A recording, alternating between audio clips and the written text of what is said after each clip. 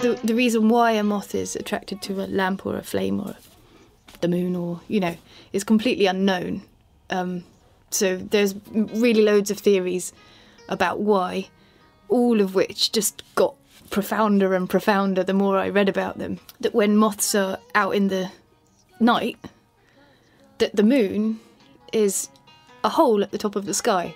So for a moth it's like oh it doesn't end here in this universe. Like there's this exit where you can get, and it's day again, or you know, and how perpetually that could happen um, is really nice. Cause blow by blow, I've tried to tell you so. The new album's called Dear Lamp Love Moth. It's 10 tracks of kind of storytelling, not really folk, but that tends to be the nearest comparison. So I suppose it's got to be two years ago. I haven't worked it out. That I started the first track, um, which was Archimedes, which is the second track on the album.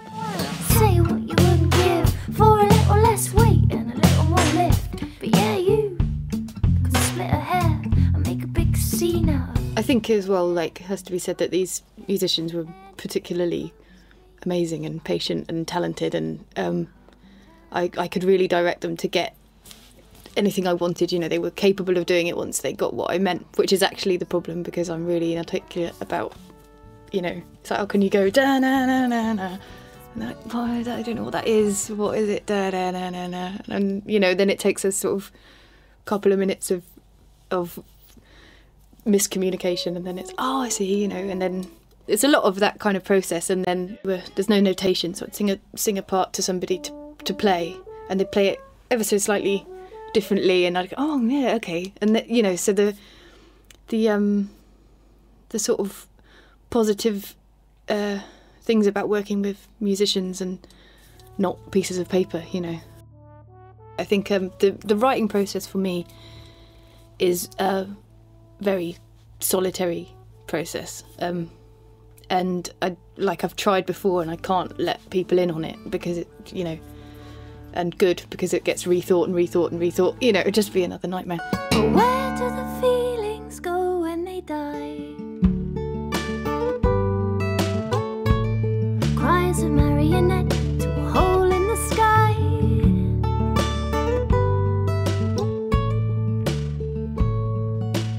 Will all I hold closest change? You know, it's great sharing something that started off really quite a lonely process. It's nice to make it something that seems to be making people laugh like and you know when we have rehearsal we're having a really good time and it's not it's not just boring old me sitting there taking myself all seriously so it's good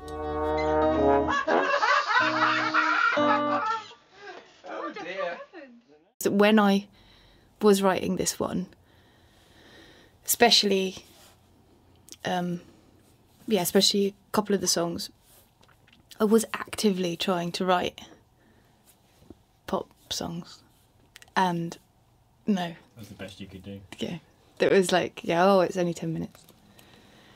The heart, yeah, that was definitely actively like satisfying. I wanted it to be satisfying, and I wanted it to be, you know, the drums to be strong and it to be this thing. And um, I probably, yeah, that probably was the biggest success story of of trying to be slightly radio friendly.